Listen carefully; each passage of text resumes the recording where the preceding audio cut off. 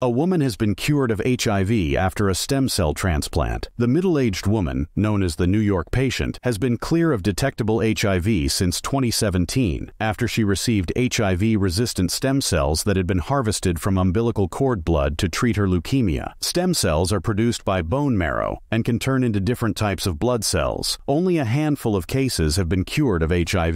These include two men in Germany, one in London, and one case of long-term remission in a man treated in Los Angeles. All had received stem cells from adult donors who carried two copies of a naturally occurring mutation of the CCR5 gene. This gene mutation prevents the virus from entering and infecting healthy cells. With any stem cell transplant, recipients can only receive donations from people with matching tissue types to reduce the risk that their immune system will attack the transplanted tissue. Since tissue types are inherited, a person's ethnicity can influence their ability to find a match. To overcome the lack of suitable adult donors, doctors carried out a study where they infused umbilical cord blood into the New York patient. Stem cells from umbilical cord blood are both more readily available and do not need to be matched as closely as adult cells do. This helps people of all racial backgrounds to be cured of HIV. While the treatment is a game changer for people who already need a transplant, researchers stressed that stem cell transplants are not a realistic cure for HIV on their own. The procedure is risky, highly invasive in nature, and may have brutal side effects.